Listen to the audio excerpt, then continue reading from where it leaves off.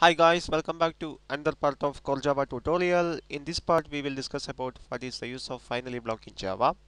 A finally block is actually used with a try block in Java. A finally block is executed whether regardless of whether there is an exception is caught or not. So if an exception is generated in that case finally block execute. If an exception is not not generated uh, in that case also the finally block will execute.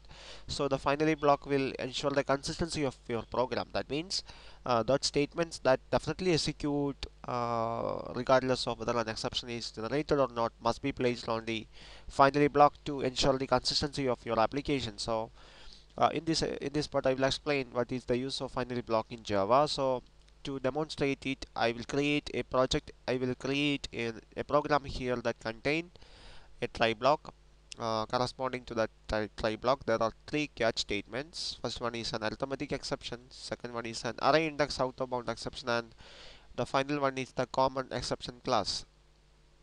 Here there are these statements generated. Actually these statements may generate two exceptions first one is the array index out of bound exception and second one is the arithmetic exception. So here I'm going to create that finally block. So after the last catch block. I create that finally block here finally. And just print out a message here system dot out dot println I am always run. Okay I place the finally block uh, after the last catch block and I save it. Now I am going to run it. So plus F6 on your keyboard. Here I just provide two values. Uh, when I run this program 6 and 0 that means uh, this will cause a division by 0 that means an arithmetic exception here. So click OK. Now here is the output. An arithmetic exception is generated here and I am always run. That means in this case here an exception is actually generated called the arithmetic exception.